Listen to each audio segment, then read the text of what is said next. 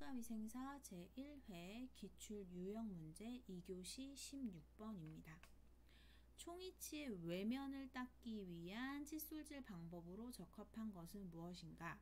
그럼 회전법, 바스법, 스틸맨법, 차터스법, 묘헌법이 있는데 정답은 1번 회전법입니다.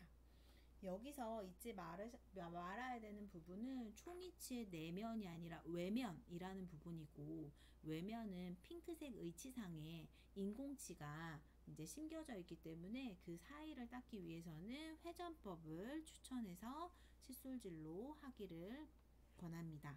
16번의 정답은 1번 회전법입니다.